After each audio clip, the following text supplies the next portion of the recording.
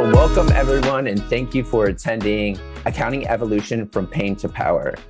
So, during today's uh, presentation, this we'll talk about the evolution of how accountants or bookkeepers have moved from a back office function to a strategic opportunity and function, and how they can leverage their power to influence and also assist small businesses all the way up to large corporations. This webinar is co hosted by Neotax as well as Mercury. Please note these materials are for educational purposes only and should not be used as tax or financial advice. So, some housekeeping items before we get started. One, again, thank you for attending the virtual event. We'll be recording the event, and at the end, we'll provide everyone with the recording as well as some other additional resources. If you have any questions, please post them in the comments or Q&A section, and we'll try to get to them at the end of the presentation. Again, we're really excited for you to be here and hope you learn a lot. So, with that being said, uh, we'll start with introductions. Uh, Ibrahim. Hi, I'm Ibrahim. I'm the founder and CEO at Neotax. Hi, everyone. My name is Taylor. I run business development at Neotax, uh, as well as spent a number of years in the accounting industry working at KPMG and other uh, accounting uh, service firms. I am Jason. I'm VP of Capital Mercury. Um, I help oversee our, our partners to, to give funding options uh, to companies, and, and one of those partners is Neotax. So we work closely with Ibrahim and Taylor. Um, background: I've worked in the Big Four, investment banking, and then I've been a, a CFO a couple times. And hi everyone, I'm Alex. I work on the uh, strategic partnerships team uh, at Mercury. So I work with um, our accounting partners to both ensure their clients are onboarded smoothly and that partners are leveraging Mercury's capabilities to, to give the best value to their clients. Um, don't have an accounting background myself. My history is more in payment infrastructure disruption, working at, at, at Stripe and Square before that um, certainly see parallels working for Mercury as it pertains to you know a tech company focusing on financial in- infrastructure and the benefits that can provide to to partners and uh, customers. Awesome. Well, again, as we have a star-studded group, so should be able to answer any questions that you do have as we go throughout the presentation. So, a, a, a quick background. So, accounts have historically been relied upon to ensure the numbers are accurate so that an organization can understand its financial position and meet its financial obligations. But that role has changed and it continues to change rapidly. The combination of a fast evolving regulatory landscape, emerging business trend, and relentless technological innovation is changing the way financial data is collected, managed, and interpreted. The COVID 19 pandemic spurred many of these changes, resulting in new regulatory tax returns, forcing dispersed accounting teams to find new ways to collaborate and pushing more organizations to consider cloud based technologies that have helped them conduct business as usual from home. Together, these forces are bringing a shift to the role of an accountant. The manual transactional work that an accountant has typically done is increasingly automated, and accountants are asked to be paired with these financial experts with soft skills such as leadership, as well as the skills needed to extract data and analysis. There's two companies that are assisting this evolution change and in empowering the accountants. Those are both Neotax and Mercury. So today, today we're going to explain, or we're going to walk through a couple of things. One, we're going to walk through the transition from compliance to advisory. We're going to talk about the accounting tech evolution.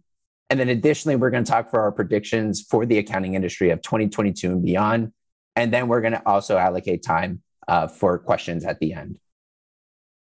So, jumping into things, we wanted to give a quick background around why is this change occurring. I talked about a lot of other items that were occurring before uh, the previous slide, but what are some things that we started to realize?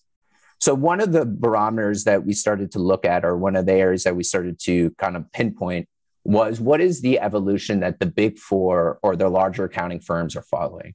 So, just a quick background, and as everyone's aware, so in the early 2000s, there was a dot com bubble burst. A lot of people are even saying that's looking a lot like today's environment. So then all of it, and then in 2002, uh, there was uh, Sarbanes and Oxley was passed for financial oversight due to the Enron uh, fiasco. Well, what that automatically uh, created, especially on the big four, was a gold rush to work on obtaining uh, or setting up the infrastructure for audit and around more again that, that compliance type work. So for a really long time, from 2002, I probably all the way say up to 2010, 2012, a lot of these big four accounting firms and even general accounting firms were primarily building teams around uh, compliance, which was primary, or a lot of it was driven by SOX. Um, as an individual who was working at KPMG during those times, and also in the audit perspective, I did see that experience. I saw the size of the uh, audit firms or the, the number of employees on the audit side were exponentially higher than any other services firms.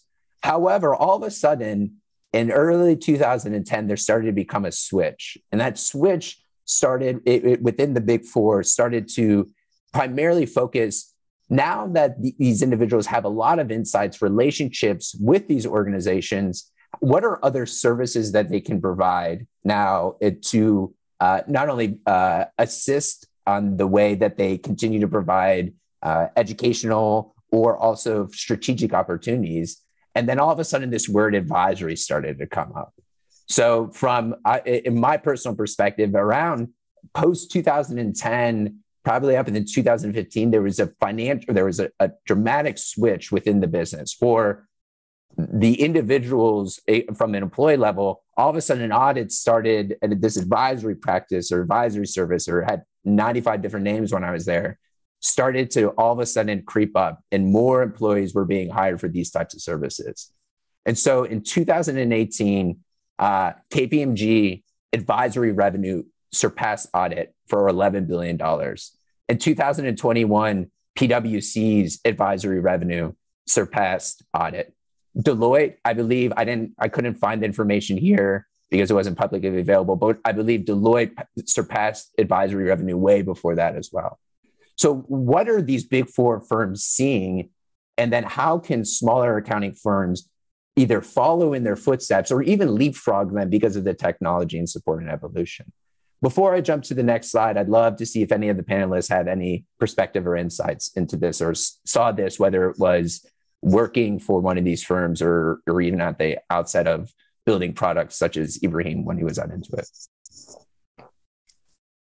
Yeah, I think the um, SOX is a really good example of trends that can help like present opportunities for accountants or or anyone that's providing accounting services. Um, you know, my I worked in the big four just like you did, Taylor. We were at the same firm, KPMG, but I wasn't in audit. I was in advisory. My whole existence and job and everything at the big four was all dependent on on SOX doing internal risks and compliance things, uh, implementing COSO or um, or testing internal controls. Um, and so um, yeah, I think it's I think SOX is a really good example of of an area where um, you see this opportunity and an accountant's roles expanding beyond the normal kind of testing or or uh, you know uh, bookkeeping. It's it's starting to broaden into these these different things. Um, where SOX trying to create the right internal um, control culture that can safeguard um, and have an impact on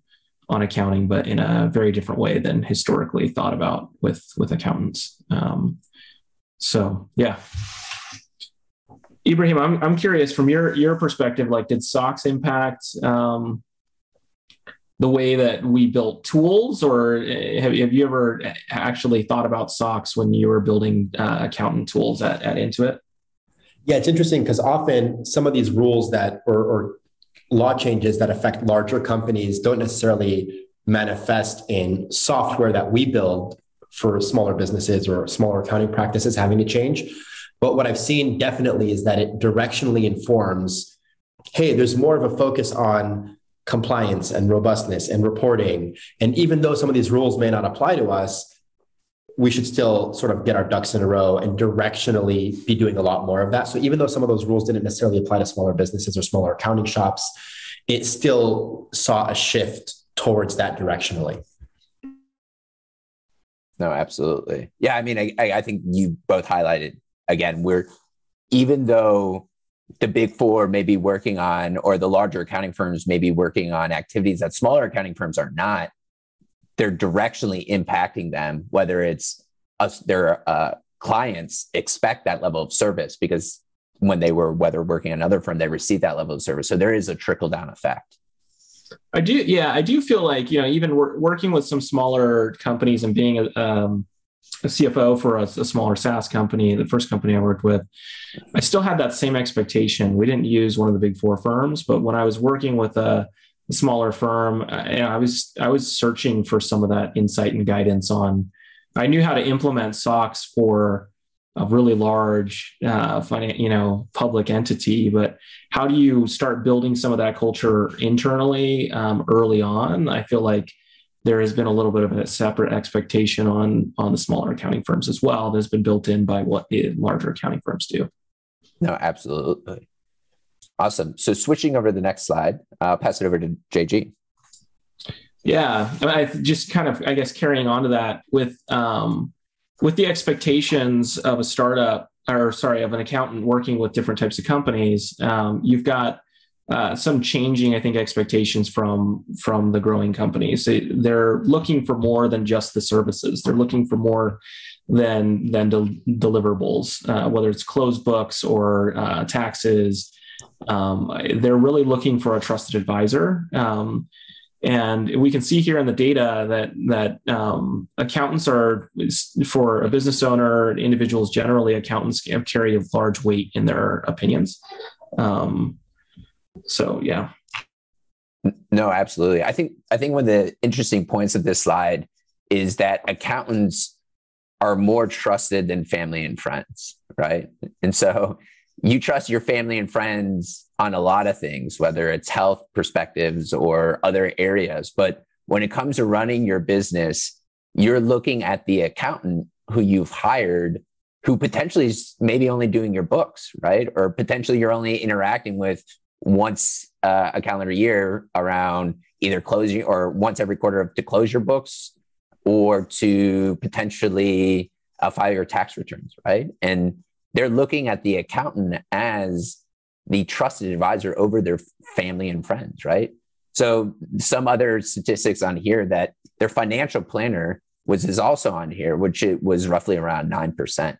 So again, acting as a trusted advisor improves the retention as well as client satisfaction.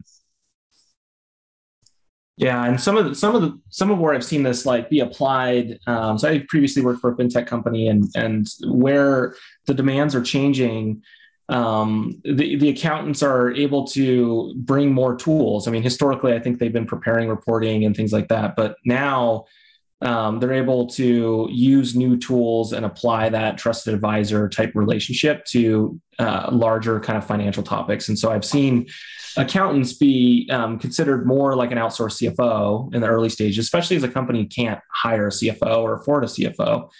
Um, and this is something that um, you know having the right tools and um, partners around you can help you kind of apply that that uh, that value. I think that value also translates into one deeper relationships, but also maybe longer retention.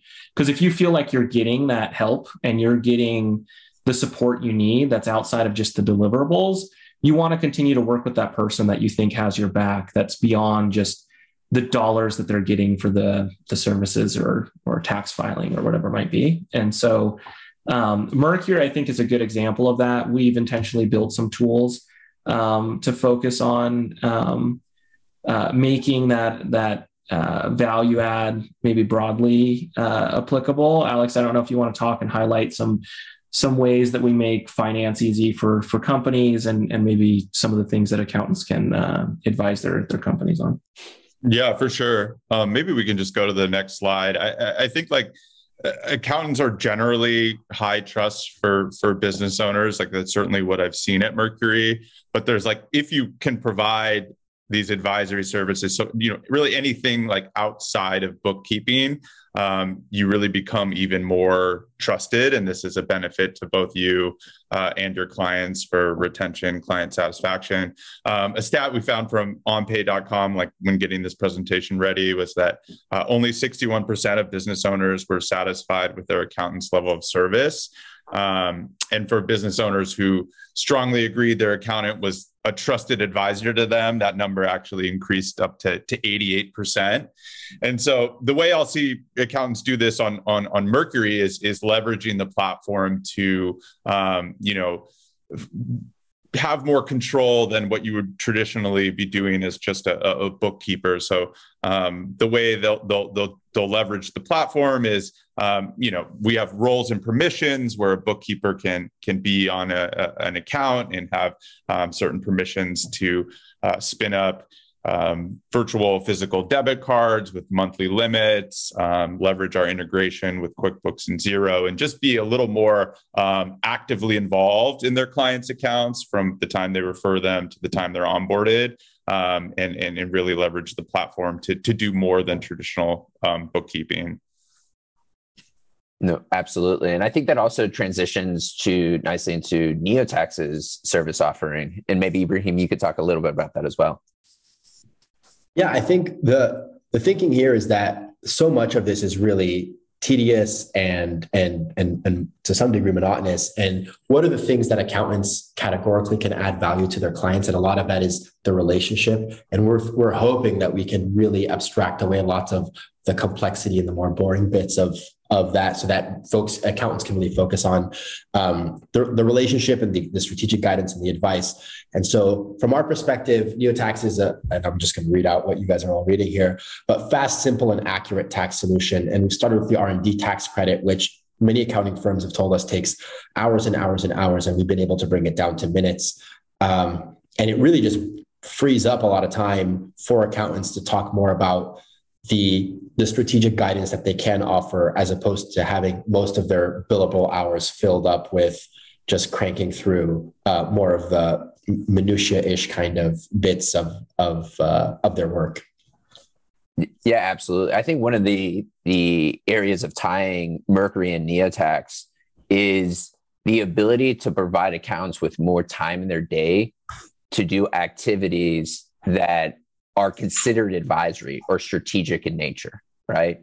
Whether neotax it's saving time on performing an activity such as the R&D credit, as well as some other activities, Mercury, it's it's ability or providing the accountant the ability to have financial insights into how the company is operating at the banking level, right?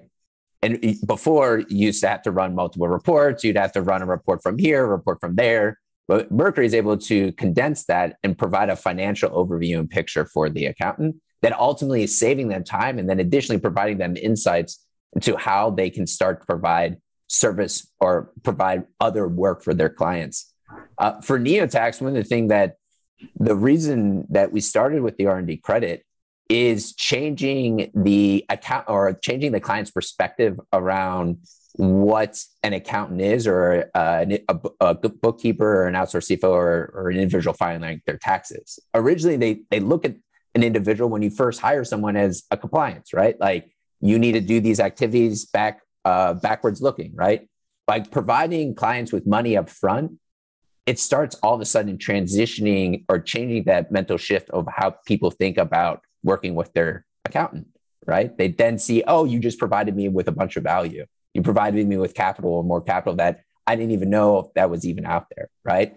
And I think again, they can, our accounts can leverage that same type of transitional mind shift for their clients with Mercury, right? They can run reports, they can provide more insights, and all of a sudden, the individual who was originally their bookkeeper is now become that trusted advisor who they go to when they're looking to make financial decisions or making decisions for their business.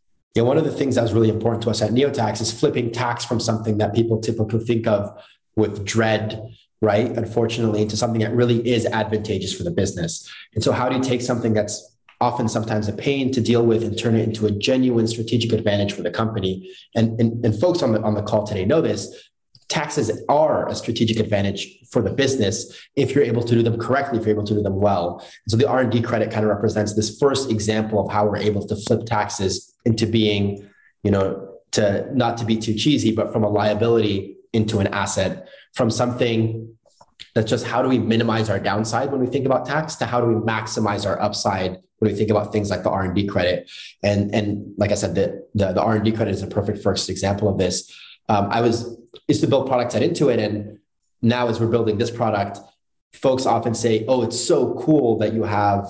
You know, one of our co-founders at NeoTax is a former IRS agent who used to audit R&D credits at the IRS for six, seven years. And folks say, "Oh, it's great that you have an IRS agent building the product with you."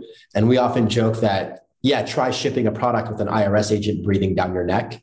And so, yes, it's fast. Yes, it's simple. But at the end of the day, it is accurate and compliant. And we know that there are no corners that can be cut there. And so we make sure that compliance and accuracy are at the heart and soul of it. And then obviously, whatever we can do to make it fast and simple, we do as well. Awesome. All right. So continuing on the, uh, from uh, pain to power, uh, Alex, maybe I can uh, punt it over to you for a minute. Oh yeah, I think I uh, already read the stat tied to this about just the number increasing on um, the trusted advisor. Like when the business sees that extra uh, value, their their satisfaction with their account jumps from from sixty one to eighty eight percent. Yeah, absolutely. And I think again, if if you're in the audience right now thinking, how do I how do I start helping or how do I start thinking of that transitional shift? Uh, there's two companies here that are more than happy to help you along that way. All right.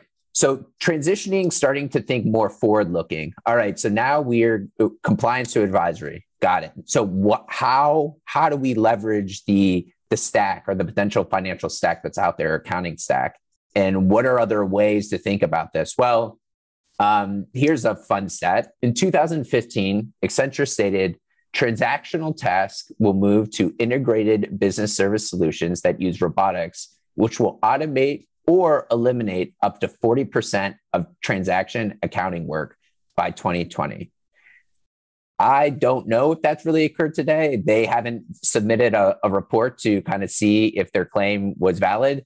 Uh, some say it is at 40%, some say it's higher, some say it's lower, right? It's to each their own, right? But what I would say is there is there's a massive groundswell of building tools and support uh, supporting accountants to again, to Ibrahim's earlier point, to r- remove those maybe mundane tasks so you can free up your time to do more of the work that you enjoy doing, right? Whether it's providing advisory services to your clients or spending more times with your children, it's up to you. So here, here's a really uh, another interesting uh, change that also is occurring. So the AICPA has made changes to the 2021 exam that put more of an emphasis on understanding business processes, automation, and data analytics. So, this is just another tidbit of uh, information that's coming down. Again, trying to get in front or seeing this wave that's occurring and making sure the individuals who are now coming into the workforce are aware and ready and, and ultimately can then provide more services and value to their clients. So, in this next couple of slides, we'll talk about the accounting tech evolution. Um, there's more or less three different phases that we've seen occur uh, that have also kind of followed the earlier slide that we talked about and kind of where we are today. So, in accounting tech 1.0, human or humans handled most of the accounting and taxes. Companies relied on outsourced experts in preparation, and compliance was very manual. So, when you think of this accounting tech evolution, you can think of the big four or other accounting firms where those and a lot of these firms are actually still relying on this. They're relying on excel spreadsheets manual reconciliations uh, they're also relying on the the audit rules that were put in place uh, a number of years ago. Uh, and there's a lot of manual efforts that's going in. Uh, a fun anecdote uh, when we talk about uh, when we're building products, one of the products we're actually comparing ourselves to is an Excel spreadsheet. Uh, Excel spreadsheets probably are the number one used product for most accounting services. And so this is the other thing you can think of an example company here is maybe Microsoft or an Excel, right? So that was the original accounting tech evolution 1.0. Oops. And, and the next bit was obviously not just software, but things moving into the cloud as well. um, and this has really stretched the last few decades, right? Um, where basically our calculators got upgraded, our spreadsheets got upgraded, but nonetheless, largely humans doing lots and lots of work, but just using slightly better tools. And this was the, the, the shift that happened, sort of what we're calling right now 2.0, which leads right up to 3.0.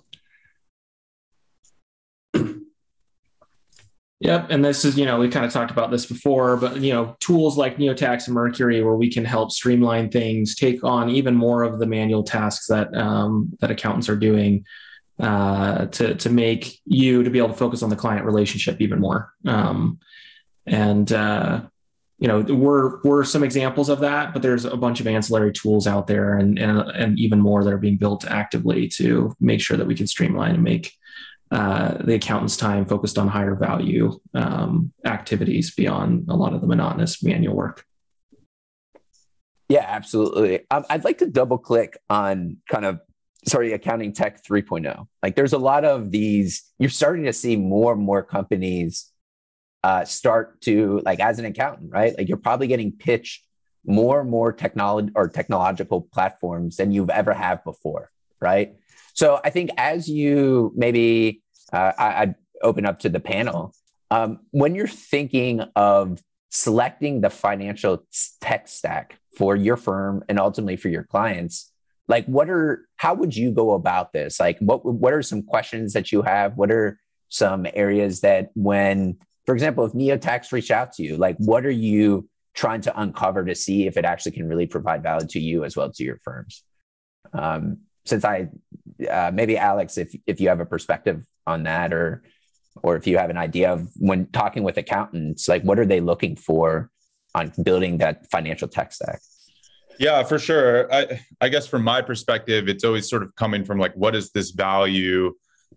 What is the value of of leveraging like this tech forward, um, you know, online friendly banking uh, platform to my clients? And and I guess that that sort of manifests in in two categories. One is like what are the actual capabilities? How like what's the what are the differences? What is the value from a uh, you know i'm searching my transactions past 90 days. I'm sending an ach and a wire. Like can i do all the things i i need um, or my clients need? And then the other is like what is the, the the the transparency piece? Like what is the um, cost associated, if it's like a free account, what are um, you know understanding the business of, of, of, Mercury and like where we we we make our revenue because um, we do provide accounts for free, debit cards for free.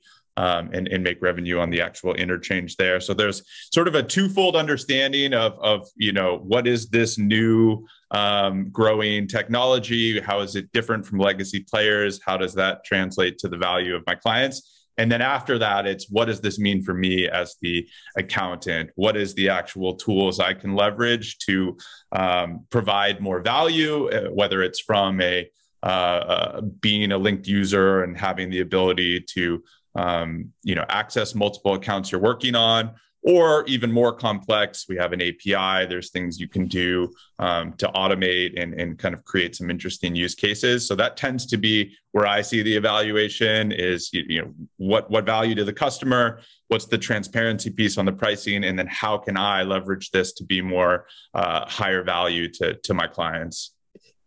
Yeah, no, absolutely. I think I think one of the nice things and beautiful things about when accountants start working with Mercury is seeing the access that they get, right? It's all of a sudden they start using Mercury. They started maybe once a month or once a quarter, they were using Mercury to do reconciliations or to pull reports for their clients. And then all of a sudden, Mercury launches a partnership or relationship with Neotax and they start using it more uh, maybe then it starts maybe once a week, right? And and I think one of the beautiful things, and and when I talk with other accountants, is there's two folds, right? One is look at the product today and see what value you can provide today, and see is it worthwhile to build that relationship. But also the second piece is look at where the company is going, right? And I think one of the things that a lot of uh, firms have done is they they think about it like, hey, here's the product today. This is the problem it's going to solve today, right? And I think that's that's super important, right? Like obviously it needs to provide value on day one, right? But the next thing is looking about where the value can be tomorrow or the day after and the day after, right? And I think that you'll start to see more and more firms start not only providing today value, but more or less what's the future value of this relationship, right? And I think that's to me one of the areas that I speak with a lot of the accountants. I always when I when I interact with them, I, I talk about neotax and the value we can provide today, but I also talk about what the future value is, right? And I think one of the other things for Mercury is if you would have an accountant, you would have used Mercury, let's just say two years ago. The way you use Mercury today is exponentially different as well as better, right? And then if you multiply that another five or 10, et cetera, years, that's the, the trajectory of when evaluating software is evaluating relationships that you should take that more forward looking, like obviously value today, but also forward looking value tomorrow. Um, Ibrahim, maybe you can talk a little bit about around forward looking tax products, um, as well as uh, more or less maybe the account or the the Mercury relationship and ne- like why is Neotax and Mercury talking today, right? And so maybe you can provide a little insights there too. Yeah, I think there's there's plenty of opportunity. We've got plenty of accountants that use our software today and and as they go through the r&d credit their mind you can sort of see their mind working as to well if you can do this for the r&d credit I, I wonder what else you can do for all the other things that i that i do from a tax prep perspective and you know when we first spoke to mercury it was not just about where's all the data that's important to use for tax prep or r&d credit purposes but it's also where folks go to, to extract the kind of financial value for their business. And so Mercury is starting to become, if not already, the leader of uh, sort of the leading technology provider as a purveyor of all sorts of financial value for businesses and for accountants. And as folks continue to look to Mercury for that, it makes sense for Neotax to be in close partnership um, to deliver all sorts of tax value that comes from that data or other financial value via tax strategies. And so we're keeping a close pulse, for example, on all the tax laws and tax codes as they change. Um, we're reading all the documentation so that you don't have to. And you can sort of trust that if there's anything that comes down the line, um, that we've taken a, a, really thorough look at it and we've extracted all of the value that can be applied for your business or your practice as a, as a firm and that the value that you can extend to the rest of your clients. And that oftentimes that data exists within Mercury, oftentimes it's in other places. But the, the more we have a holistic view of all the different things that are going on financially in your business, whether using a capital product like venture debt or otherwise, how can we bring all these things together and create compounding effects? Where each of them are sort of like in a virtuous cycle with one another, so that your tax strategy and your finance strategy and all that data is working for you to build the best strategy forward for your business and for your clients' businesses. Yeah, absolutely. I think that you've summarized extremely well around accounting tech 3.0 and ultimately where we're moving towards.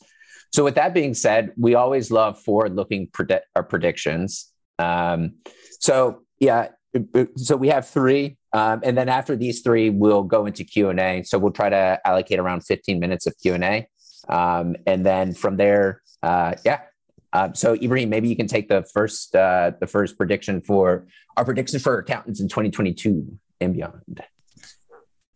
Yeah, I think this is no surprise, and I um, if especially if you live in certain parts of the U.S. right now, you look outside. I'm looking outside the window. There's at least one or two cars driving themselves, and you know we suspect that cars are driving themselves. Surely we can use computers to do some of the crunching of numbers for us.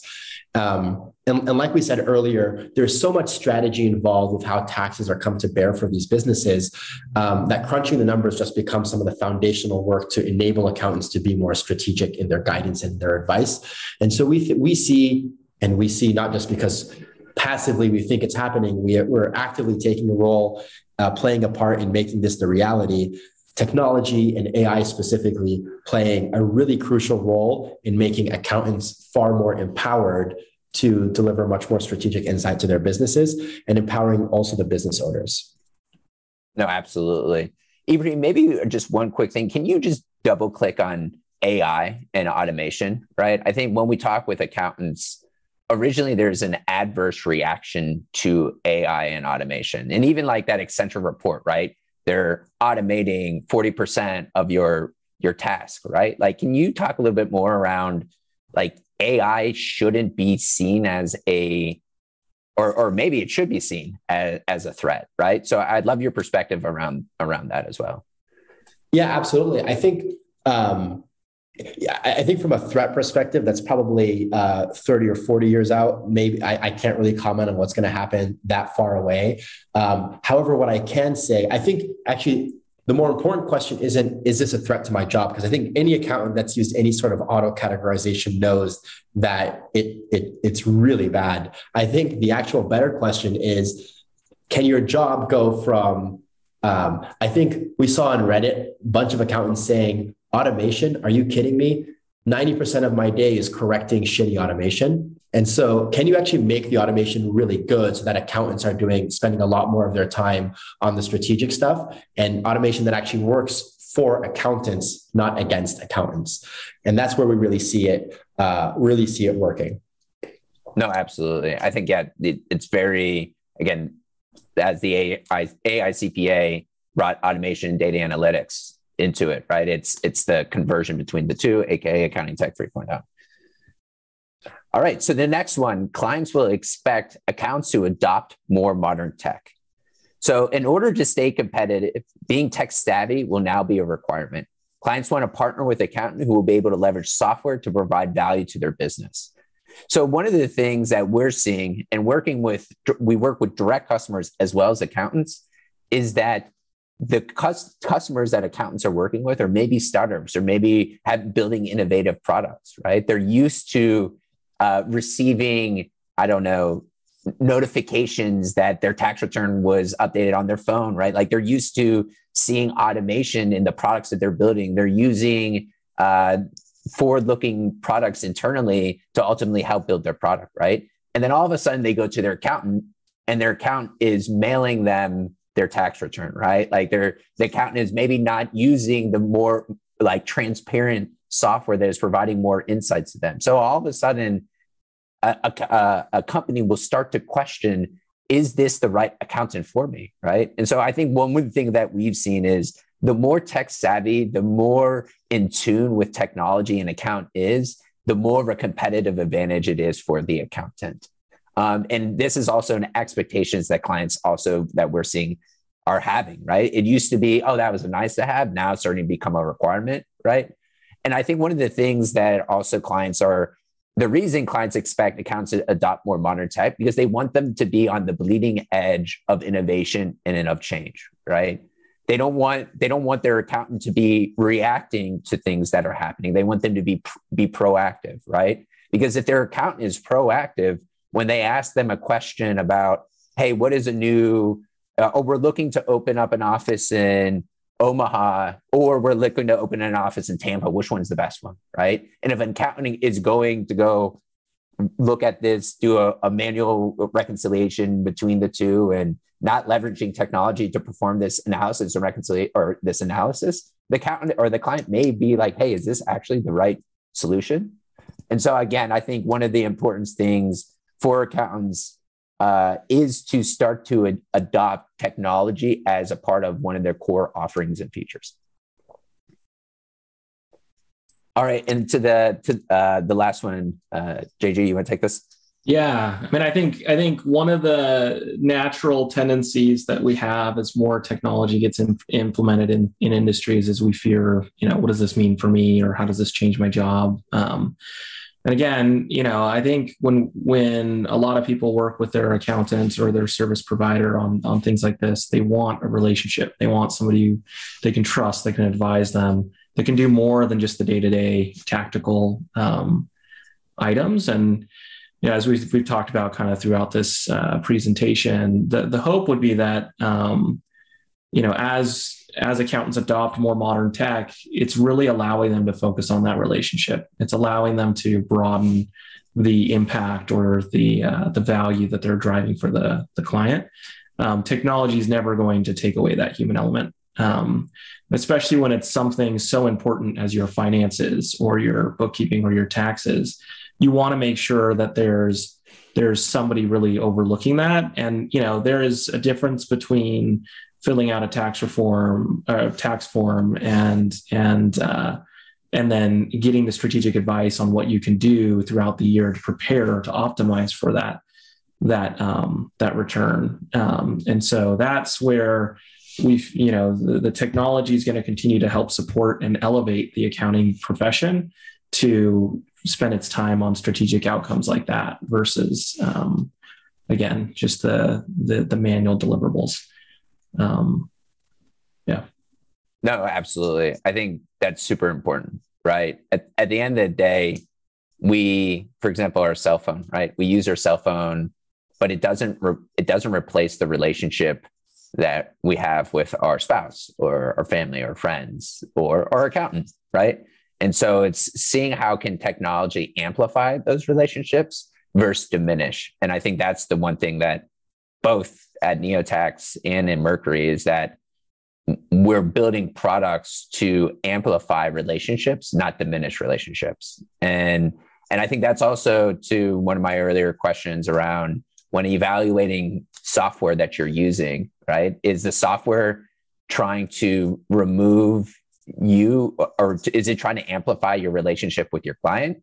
Or is it trying to uh, put a barrier between you and your client right? And i think that's a really important thing to think about when evaluating software or evaluating your potential future finance stack um, is what is the what is what is the end goal of this software right? Is it is it to replace me or is it to amplify these relationships and amplify the things that i want to provide to my client?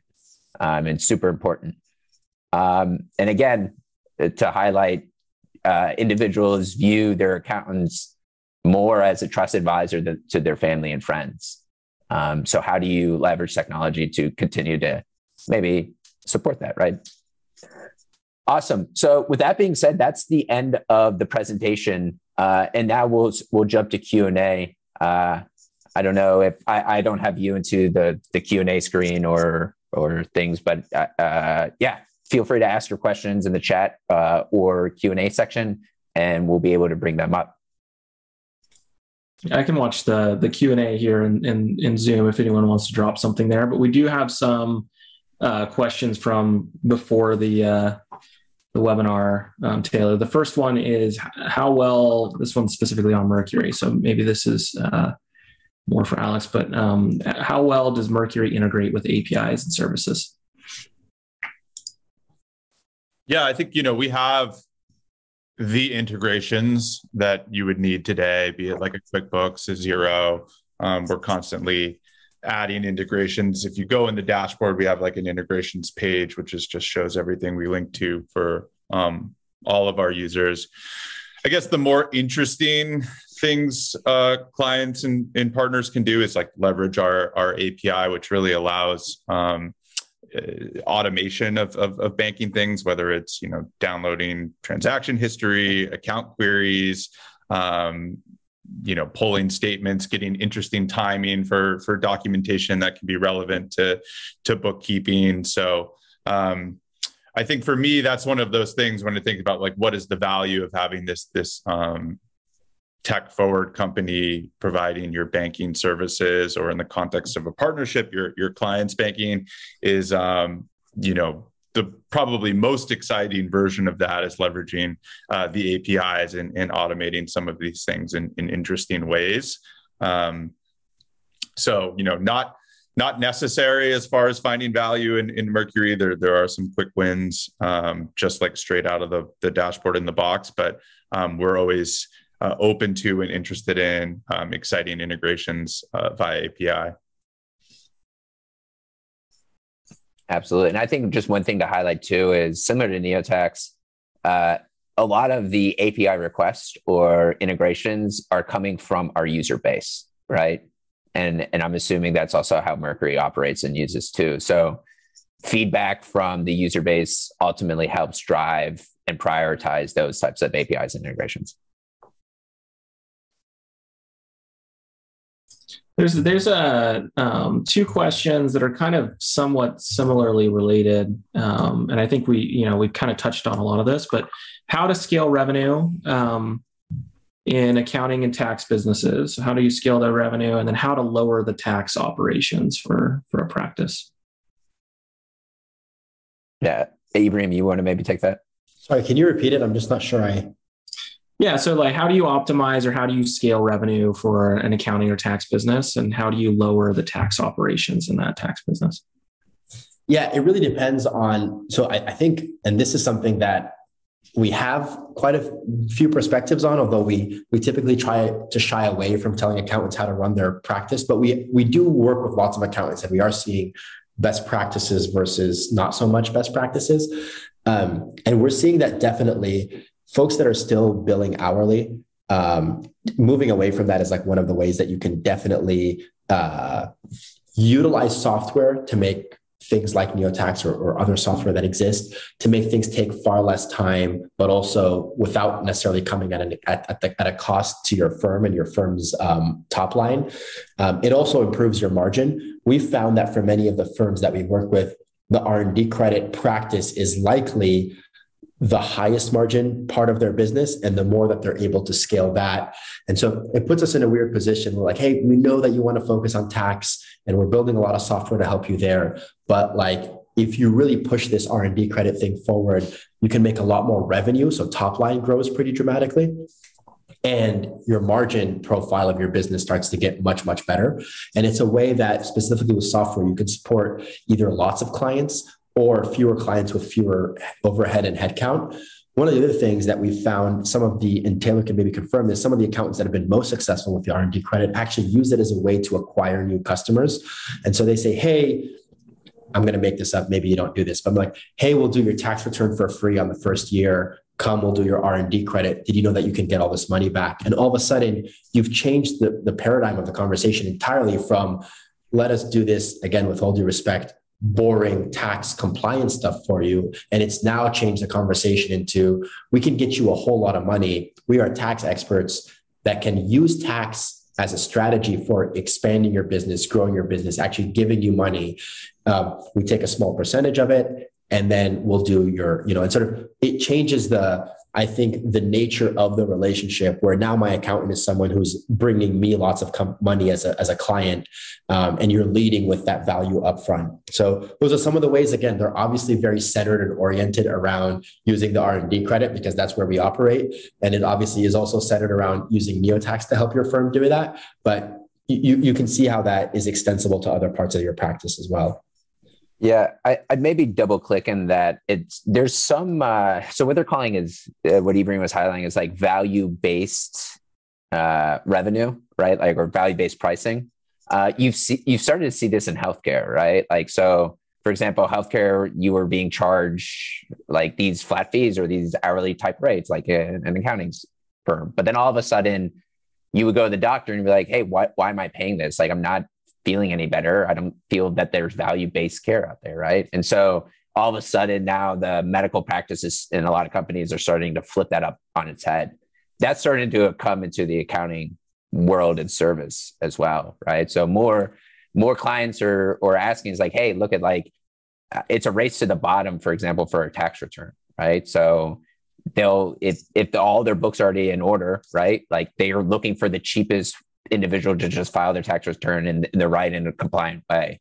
And so that's a race to the bottom because there's more in their eye, not as much value, right? So it's then accountants are now trying to transition shift is trying to find what are those now value value additive areas that we can provide to our clients. Uh, the R&D credit is is a great example of that, um, providing money back into your client's pocket. But there's a bunch of other ways of doing that.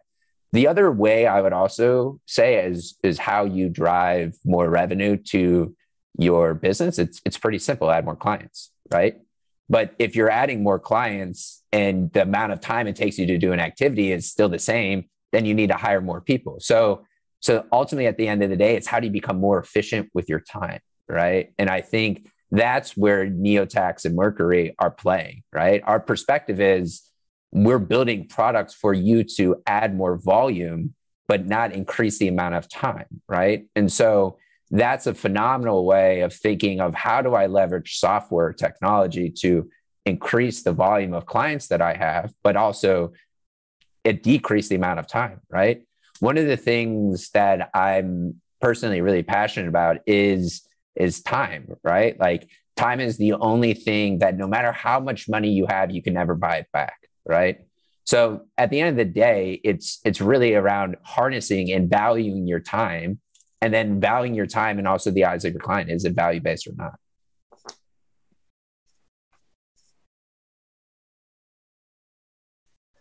Jason, were there any other ones, or maybe I can pop one more question and. Uh, the other, the last one was, um, and it's maybe related to actually that topic was, um, yeah, I have multiple locations or multiple clients that are using Mercury. How do I like have this be efficient and all streamlined in one area? Um, I want to say they they gave an example. Hold on one second, let me pull it up. That what it said. Um, for example, by midsummer, we will likely need 20 plus accounts and grow year after year. So, Alex, I don't know if you want to talk about just mul- how many accounts somebody can have and then the toggle between different clients to change companies. Yeah, and I think that is a good example of like one of those quick features that Mercury can help with. Like you just have the ability uh, to link all your clients' accounts to um, your account and easily toggle between them. Um, you know this makes things easier just from like a oh i'm in my dashboard i can switch between accounts things but it also like gives you more power as far as you can create you know numerous checking accounts instantly. You can set up auto transfer rules to create things like zero balance accounts um, leverage those user permissions we talked about. So yeah i think you know it's it's the the theme of um sort of efficiency and you know i really like the concept of you know doing something that's going to augment your efficiency and not block you. But then there's this like a bit of a played out word, but like, how can this help me simplify? And I think sometimes when you're changing, um, you know, something, be it like a banking service or a tax services to something very new, there can be this like intimidation of like, is this going to make things so much more complicated that whatever the end state value is, is uh, not going to be worth it for me to get there. And I think there is this um, you know there are certain things be it with a mercury or you know neotax or, or, or these similar things where it's like there, there, there's a, an ability to or, or, there's at least a risk of like looking at the new and thinking this is going to cause more trouble than it's worth when in reality there are likely some some very quick high value things you can start leveraging. And as you gain more comfortability with the platform the product flow then i think you can start scaling and really start seeing those efficiency improvements like at scale. Um, and i think like linking accounts is a good example of a quick win feature on on, on mercury